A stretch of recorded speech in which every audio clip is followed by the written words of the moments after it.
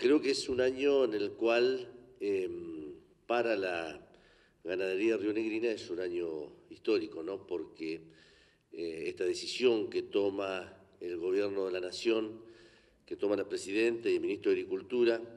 y en el cual tanto el senador como el gobierno de la provincia hemos acompañado del corrimiento y cerramiento de la barrera, nos pone en este año como, un, como uno de los años de mayor trascendencia y mayor optimismo y mayor ánimo, este, mirando lo que venía siendo la ganadería y lo que puede llegar a ser para, para el futuro. Uno va observando en las distintas muestras de, de las sociedades rurales, de las exposiciones, eh, primero la satisfacción de ver este año únicamente animales criados en la Patagonia y, fundamentalmente en Río Negro y en Neuquén, ¿no? y algo en Chubut.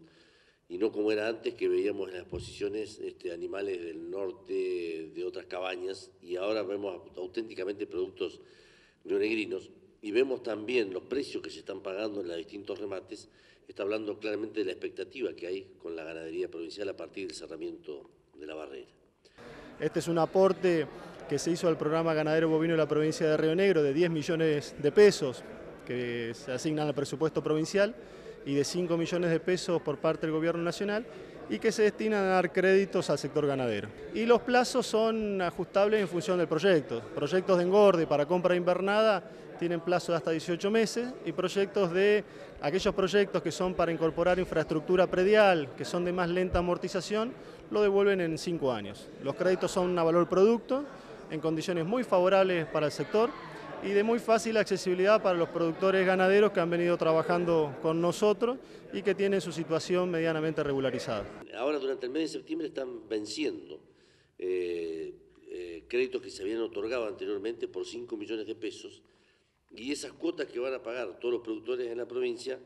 vamos a lanzar una crédito, un crédito nuevo de 5 millones de pesos más destinado ahora a la siembra de maíz y sorgo y a la inseminación artificial. Eh, nosotros insistimos mucho en esto de, eh, de, cada vez que podemos trabajar sobre lo que para nosotros es el futuro Río Negro, que es eh,